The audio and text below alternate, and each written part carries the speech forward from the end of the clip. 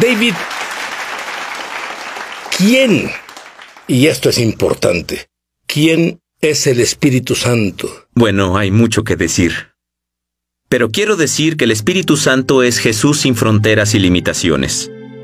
El Espíritu Santo es Jesús en la nube, poniéndolo en términos técnicos como la tecnología.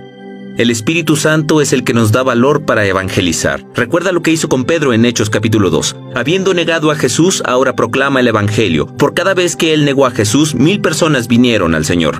Piensa en el Espíritu Santo y cómo despierta la fe dentro del alma, ayudándonos a creer en lo milagroso en formas que no creeríamos de otro modo.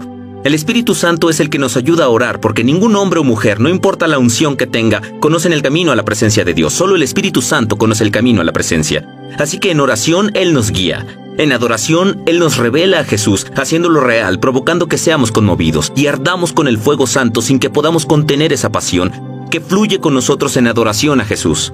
El Espíritu Santo es aquel que nos ayuda a caminar en santidad para que los atados y desfallecidos por la vergüenza y la enfermedad del pecado el Espíritu Santo ofrece libertad. Él es el Espíritu de santidad, el que rompe el poder y las cadenas de los hábitos que la gente ha tenido por años. Él rompe esas adicciones, Él rompe esas ataduras. El Espíritu Santo es quien nos libra de ser cautivos de la opresión demoníaca. El Espíritu Santo es quien se mueve en nosotros y nos da revelación de la palabra. A veces leemos la palabra diciendo solo quiero ver a Jesús. Él hace que la información de la palabra vaya de ser solo información a revelación y la revelación brinda transformación. El Espíritu Santo es el que va con nosotros dándonos palabras que decir cuando no sabemos qué debemos decir. Cuando a veces decimos, Espíritu Santo ayúdame, no sé cómo ganarlo para el Señor, no sé cómo hablar. El Espíritu Santo habla dentro de ti palabras que vienen directo del Padre. El Espíritu Santo es quien abre el corazón del pecador haciendo que vayan de individuos necios duros de corazón a personas que se inclinan ante Jesús como su Señor.